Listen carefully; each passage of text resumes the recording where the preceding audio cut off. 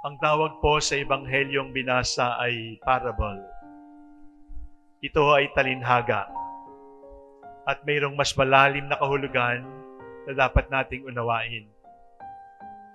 Si Lazaro ay dukha at gutom at may sakit. Si Dives ay isang taong mayaman at nagpasasa sa kanyang buhay. Bago tayo magbigay ng maling interpretasyon, nais kong ituwid agad ang katotohanan ito. Una, hindi po isinusumpa ang mayayaman. Hindi po masamang maging mayaman. Hindi natin ikadadala sa impyerno dahil tayo ay mayaman. Hindi yun ang kasalanan ng mayamang tao. Sa kabilang dako, hindi naman tiyak dahil ikay mahirap, pupunta ka na agad sa langit. Hindi naman tiyak na dahil ikay mahirap, hindi ka napupunta sa impyerno. Ang totoo, hindi po ito usapan ng mahirap at mayaman. Ang gospel po ay tungkol sa ugali ng mayaman na dapat nating unawain at dapat nating pag-ingatan. Ano yung ugali ng mayaman na nagdala sa kanya sa apoy ng impyerno? Ano po yon? Bulag. Bulag. Hindi siya nagbulag-bulagan. Hindi siya yung nakikita pero walang nakikita. Hindi. Kundi talagang bulag. Bulag na naging invisible si Lazaro. Bulag na naging transparent yung dukha. Bulag na ang ibig sabihin, hindi niya nakikita sapagkat naging invisible yung dukha na nasa kanyang pintuan. Sa makatuwid po, ang isang mayaman na nakakakita sa pangangailangan at tumutulong ay maaaring pumunta sa langit. Sa makatuwid po, ang isang dukha na nakakakita ng kapwa dukha ay maaaring pumunta sa langit. Pero ang isang dukha na napopoot, ang isang dukha na nagseselos at naiinggit, ang isang dukha na pinagwawalang bahala yung biyayang maliliit ng Diyos. Kahit siya dukha, ay hindi rin pupunta sa langit. Bakit? Sapagkat kapareho siya ng kasalanan ng taong mayaman. Ano yon? Blindness. Bulag. Hindi niya nakita ang pangailangan ng kapwa. Hindi niya nakita ang kanyang kapwa bilang rarawan ng Diyos. At yon ang kanyang ikinasawi. Yon ang dahilan kung bakit siya isinumpa. Nakakakita tayo. Yung iba mas malabo ang mata, kaya nagsasalamin. Yung iba, kailangan mas makapal na salamin kasi mas malabo ang mata. Pero mayroon pang kabulagan na hindi magagamot ng salamin sa mata. Mayroon pang mga kabulagan na kailangan nating tanggapin sapagkat kapag hindi natin tinanggap, ay magiging dahilan ng impyerno natin. Ano yon? Una, selos. Inggit. Yang inggit, nakakabulag. Yang pagseselos, nakakabulag. Bakit sila? Bakit siya? Bakit mo pinansin? Ako hindi. Bakit mo binigyan? Ako hindi. Selos at inggit ay nakakabulag. Ano ang antidote nito na dapat nating ipatak sa mata?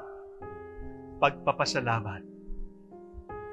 The antidote to jealousy is gratitude. Because if you see everything as a gift, then there is no need to be jealous. There is no need to be envious.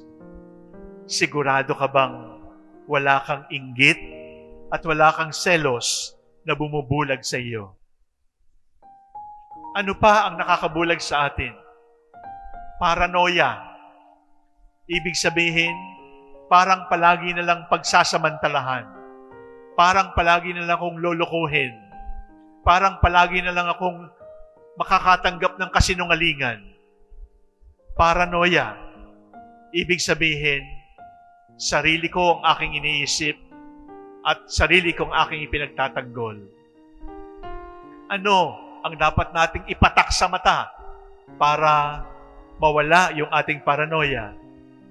Ang patak sa mata ay metanoia. Ibig sabihin, pagbabago ng pananaw, pagbabago ng tingin, upang makita ang tao hindi bilang banta, upang makita ang tao hindi, hindi basta pagbibintangan, upang makita ang tao bilang isang kaibigan na mapagkakatiwalaan. Ano pa? Yung pagwawalang bahala. Yung pagwawalang bahala na, ah, sanay na ako dyan. Ah, alam ko na yan. Ah, araw-araw ako nagsisimba. Ah, araw-araw ako nagrosaryo. Alam ko na yan. Familiarity. Di ba sinasabi natin sa English? Familiarity breeds contempt because contempt will make you blind. Sa pagwawalang bahala, sa pag hindi na lang pagpansin sa mga maliliit na bagay, nabubulag tayo. Ano ang dapat nating ipatak sa mata kapag tayo ay nabubulagan na sapagkat pangkaraniwan na lang ang lahat? Yung kabanalan, yung sense of wonder, yung sense of awe, yung sense of mystery na mayroong kamay ang Diyos na kumikilos para sa atin. Mga minamahal kong kapatid, ano pa? Kabastusan. Ang kabastusan ay hindi lamang kasalanan ng dila. Ang kabastusan ay nakakabulag din. Kapag natuto na tayo at nasanay sa pagmumura, kapag natuto na tayo at nasanay sa pang-alipusta sa kapwa-tao, bulag din yon. Ano ang dapat nating ipatak sa ating mata? Yung katotohanan ng aking kapwa-tao ay nilikha kawangis ng Diyos. Yung katotohanan ng aking kapwa-tao ay hindi ko maaaring bastusin sapagat ang aking kapwa-taong binabastos ay Diyos na binabastos ko. Diyos na minumura ko. Diyos na nilalapastangan ko. Ang kabastusan ay nakakabulag. Ang inggit at selos ay nakakabulag. Ang pagwawalang bahala ay nakakabulag. At marami pa. Kaya hindi na natin napapansin.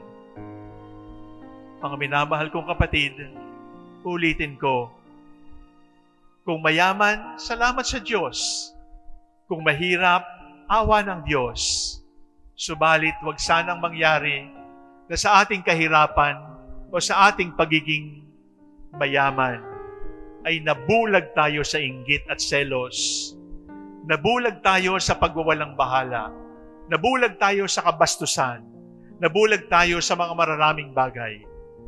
Sapagkat kapag nangyari yon, kahit nagsisimba tayo tuwing linggo, kahit nagdadasal tayo araw-araw, kung bulag na tayo sa pangailangan ng kapwa-tao, sasabihin sa atin ng Diyos, nung nakakakita ka pa, bulag ka, mananatili kang bulag, hindi mo na ako makikita magpakailanman. Gusto ba natin yon? Magpatak na tayo sa mata para makakitang muli at ang ating pagiging bulag ay paghilumin ng Diyos.